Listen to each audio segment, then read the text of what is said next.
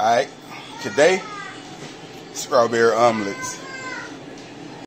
Put your eggs in there. Uh, strawberry omelet.